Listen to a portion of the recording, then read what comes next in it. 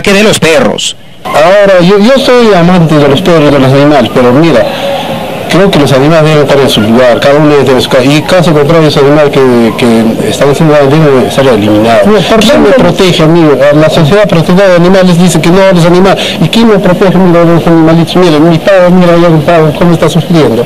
Está sufriendo. Entonces, yo hago llamado a las autoridades, definitivamente somos responsables de eso, que tomen cartas en el asunto porque yo creo que eh, habiendo estos antecedentes, yo creo que las autoridades son los que deben tomar la carta en el asunto para poder eh, solucionar los problemas. Los perros callejeros definitivamente deben ser eliminados.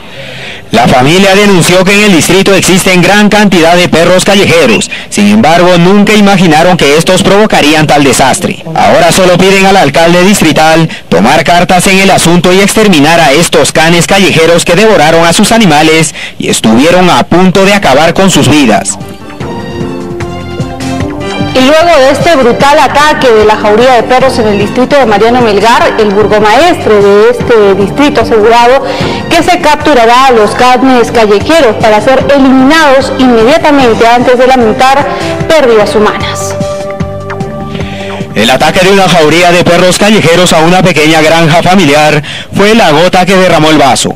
Edwin Martínez, alcalde del distrito de Mariano Melgar, fue tajante al señalar que ejecutará de inmediato la captura y eliminación de los perros callejeros en todo el distrito. Entonces hay que tomar este, medidas ya radicales con el perros, porque si hoy han destruido, digamos, todo el, el, el gallinero, los conejos de una vecina, han agredido a un, ciudadano, el día de mañana va a salir nuevamente por las, por las arterias del distrito a causar daño no solamente a los animales, sino también a los niños o a los ancianos de, nuestro distrito. El burgomaestre invocó a las autoridades de salud y a los demás alcaldes de la ciudad a tomar medidas de inmediato, antes de lamentar pérdidas humanas o posibles contagios por rabia.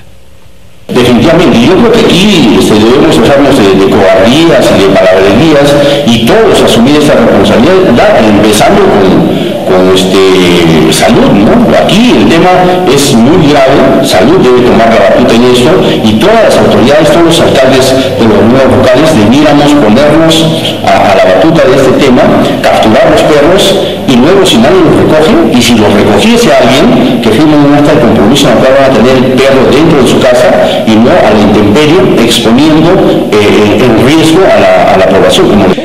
Asimismo se dirigió a sus principales detractores, quienes lo censuraron por promover esta iniciativa, señalando que solo ponen obstáculos y no soluciones ante la gravedad de la situación, pone en riesgo a la población.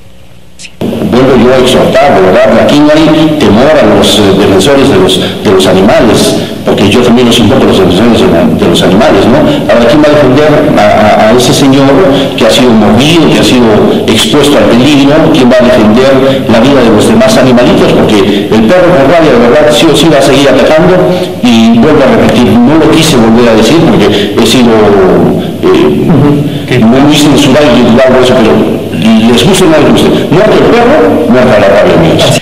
En las próximas horas el burgomaestre pondrá en operatividad el canil del distrito y un equipo de veterinarios preparados para capturar a todos los canes callejeros, que finalmente luego de una evaluación serán ejecutados mediante la eutanasia. Vamos a